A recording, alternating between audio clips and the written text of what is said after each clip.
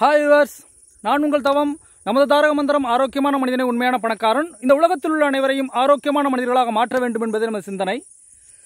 இது ஒரு பழைய பண்பாடு. மிகப்பெரிய க- ஒரு முந்நூறு நானூறு ஆண்டுகளுக்கு முன்பு உள்ள பண்பாடு இது. இதை பற்றி தான் நாம் இன்று பேசப் போகிறோம். நேற்று இதை ஒருவர் உருவாக்கி இருக்கிறார் என்பது வியப்புக்குரியதாக இருக்கிறது. இக்கிராமங்களில் இருக்கிறவங்களுக்கு தெரியும். இதனுடைய பெயர் சுமைதாங்கி கல் என்று சொல்லுவார்கள். இந்த சுமைதாங்கி கல் எதற்காக உருவாக்கப்படுகிறது? இவற்றை யார் உருவாக்குகிறார்கள்? இவற்றினுடைய பயன் என்ன? என்ற ஒரு மூன்று கேள்விகளுக்கான விடைதான் இது. இப்போது இருக்கக்கூடிய நமது சந்ததியினருக்கு இந்த சுமைதாங்கி கல்லை பற்றியான வரலாறு தெரியாமல் இருக்கலாம். நான் எதர்ச்சையாக இன்று எனது சொந்த ஊரான உரத்தூர் ராமநாதபுரம் மாவட்டத்திற்கு இன்று வந்து வந்திருந்த போது இது கண்ணில் தென்பட்டது. இது வழியாகத்தான் வந்து கொண்டிருப்பேன். ஆனால் புதிதாக நேற்று இது முளைத்திருக்கிறதே என்று மிக வியப்பாக இருந்தது. ஒரு முன்னூறு ஆண்டுகளுக்கு முன்பு கடைபிடிக்கப்பட்ட ஒரு சுமைதாங்கி கல்லை நடக்கூடிய ஒரு பாரம்பரியம் இவற்றில் மிகப்பெரிய ஒரு நன்மையும் இருக்கிறது. அவை அவற்றைத்தான் பார்க்க போகிறோம். தொடர்ந்து பாருங்கள். இதற்கு பெயர் சுமைதாங்கி கல். இவற்றை இவற்றினுடைய பயன் என்ன என்று பார்ப்போம். பிறகு இவற்றை யார் நடுவா என்று பார்ப்போம். இவற்றினுடைய பயன் என்னவென்றால் இந்த சுமைதாங்கிக்கள் நமது மட்டத்திற்கு இருக்கும்.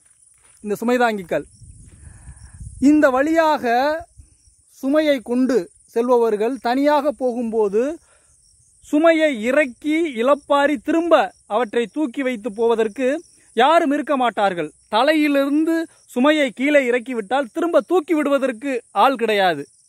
அதனால் தலையில் இருக்கக்கூடிய சுமையை இந்த சுமைதாங்கி கல்லில் இறக்கி வைத்துவிட்டு பிறகு தானே அவற்றை தலையிலே ஒட்ட கொண்டு போய் வைத்து அப்படியே சுமையை ஏற்றி திரும்ப நடக்க ஆரம்பித்து வருவார்கள் இதற்காகத்தான் அங்கங்கு இந்த சுமைதாங்கி கல் நடப்பட்டது. யார் இவற்றை நடுவா? என்ற ஒரு கேள்வி எழுப்பப்படும் அல்லவா? யார் நடுவா என்றால் ஒரு மனைவி. குழந்தை பிறக்க முடியாமல் இறந்து விட்டார்கள் என்றால் குழந்தையும் தாயும் இறந்து விட்டால் அவற்றின் நினைவாக இந்த சுமதாங்கிக்கல் கட்டப்படும்.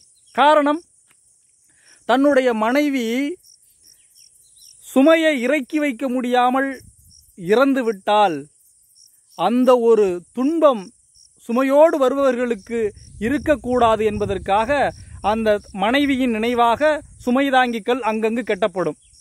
சுமையோடு வருபவர்கள் இறக்கி வைத்து இலைப்பாரி திரும்போது செல்லுங்கள் என்று தன் மனைவி பட்ட கஷ்டத்தை சுமையோடு வருபவர்கள் படக்கூடாது என்பதற்காகவும் தனது மனைவி நினைவாகவும் கட்டப்படுவதுதான் இந்த சுமைதாங்கிக்கல் இது ஒரு முன்னூறு நானூறு ஆண்டுகளுக்கு முன்பு கட்டப்பட்டிருக்கிறது அங்கங்கு.